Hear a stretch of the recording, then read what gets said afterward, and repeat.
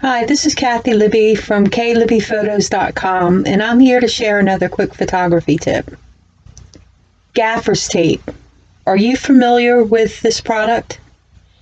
It's a vinyl coated cloth tape that is tough, water resistant, and can be torn by hand.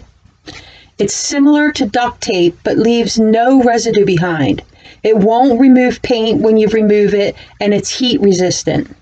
Its uses for photography are plentiful. You can mark your equipment with it.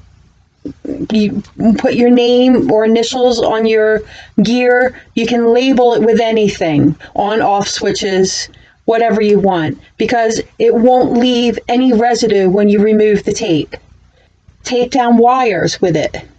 You can make place markers with it where you're going to place your tripods, where you want somebody to stand, etc. You can adhere the tape to hot light fixtures with it because it's heat resistant. You can tape lenses to hold them at a certain focal length or a certain focus point. There are so many uses for it, I just can't name them all.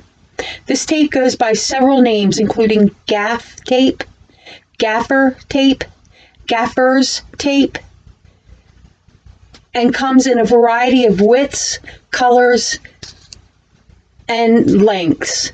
Just search online for any of those names to find sellers of these products. Once you start using them, you won't be sorry. You'll find tons of uses for them. This has been another quick photography tip for you.